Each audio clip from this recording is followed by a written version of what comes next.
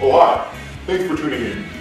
We have a special guest, and know you're gonna like nitrogen. So nitrogen, tell us a little about yourself. Well, I was first discovered in 1772 by Daniel Rutherford. My atomic mass is 14.0067.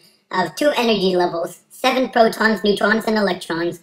My density is 1.251 grams over liters. My melting point is negative 210 degrees Celsius. And my boiling point is negative 195.8 degrees Celsius. How about your family? I have a wonderful family. Their names are phosphorus, arsenic, antimony, bismuth, and ununpentium. We all share the same amount of valence electrons. They call me Big N because I'm the seventh most common element in the universe, making up 78% of the Earth's atmosphere, and my atomic symbol is N. I'm non-toxic in 2.5% of the human body. That's great.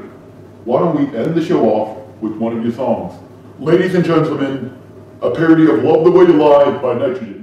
I'm orderless, tasteless, cannot be seen in the help all living organisms. Make proteins the way the B table is divided. I'm angry 15, using light bulb because I'm not very reactive In fact, I'm using food just to keep them free. Humans would die without me because of oxygen.